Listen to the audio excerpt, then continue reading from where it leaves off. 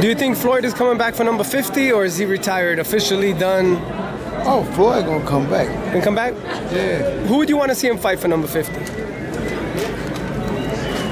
Oh, he, he gonna probably fight uh, one of the one of the good fighters that's in the top ten.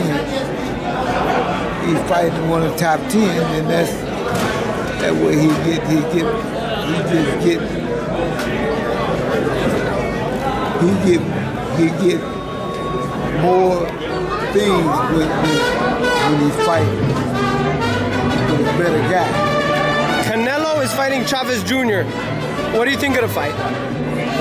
Canelo And Chavez Jr., the son of uh, the guy you fought, Julio Cesar Chavez. I don't believe Costello is going to beat that dude. Redhead Canelo can't win. You don't think Canelo beats Chavez Jr.? Why not? I don't, I don't think, but I, I mean, I see, I seen him fight one time. Yep. And he didn't even look that good. So, so, so me, I, I just think the guy is a little better than him. But I mean, It's boxing. see. How about this? You fought the dad, and last time you told me, you said, quote, that motherfucker had a chin. Yeah, Because you hit him, and he wouldn't go down. that's the, that's the thing yeah. His son has a good chin, too. Hell yeah. But his his son ain't nothing like the dad. No, they're different people, different Yeah. style, different fighters. Yeah. You're right.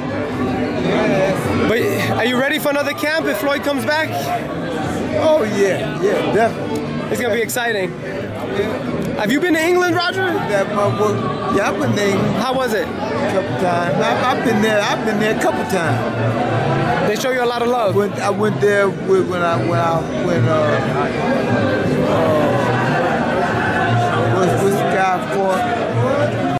So there you have it. Another great video for ES News. For ESNewsReporting.com, I'm Elie Seckbach reporting, and you can follow me on Twitter at Seckbach. And you can follow me on Instagram at Elie Seckbach. Take a back.